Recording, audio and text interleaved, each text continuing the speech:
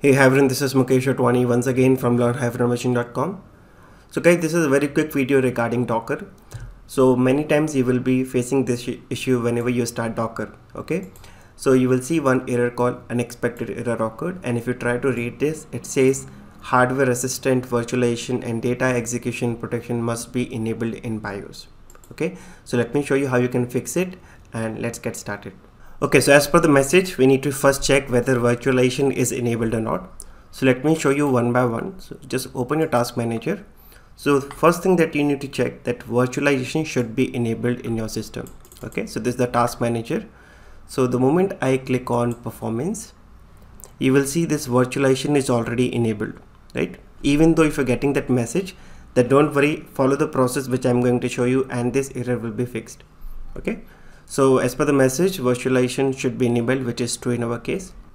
Second thing that you need to check is Hyper-V platform is enabled or not. So this is virtualization which is enabled from BIOS. Second thing is the Windows program. So what you can do, search for features, okay? You can see this turn window feature on and off. Click on this and you will get this window, which is Windows features, right? So first of all, what you need to check you can see this option right? Hyper-V open this. Again you will see Hyper-V management tools and Hyper-V platform. Again make sure all the checkbox are selected okay? So these two should be selected these two should be selected and this one should be selected. If any of the one is missing then again you might face the same issue. So make sure all the checkbox are enabled.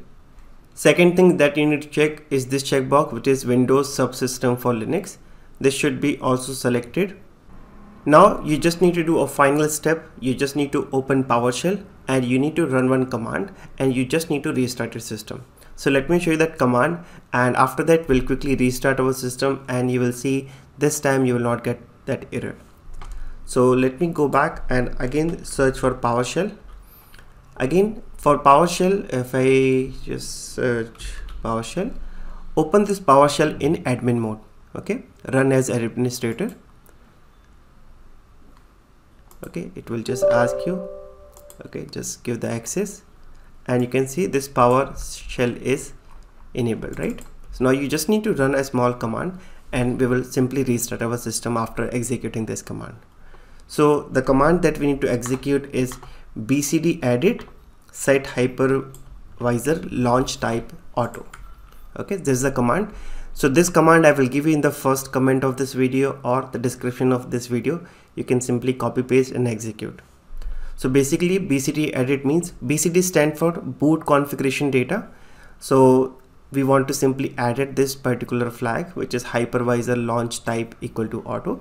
So BCD edit set hypervisor launch type auto and hit enter.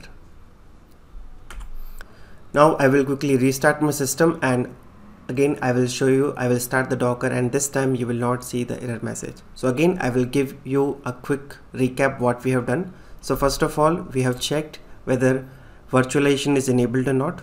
Once that is enabled second thing that we need to check the Windows feature. Make sure Hyper-V is checked and all the sub options are also selected. Okay Hyper-V management tools these two check boxes. Hyper-V platform these two check boxes. Make sure this checkbox is also selected once all these are done you need to click on ok. Okay if these options are not selected the moment you click on ok it will take few seconds to apply these changes.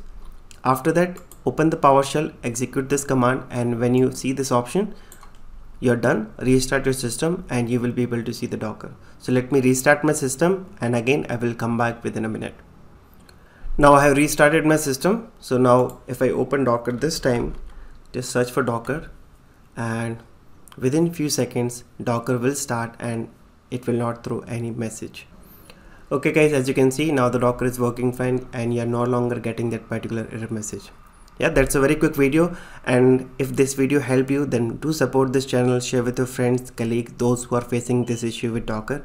And yeah if you have any other issue let me know in the comment section and i will try my best to answer them. Thank you so much guys. Have a nice day. Bye bye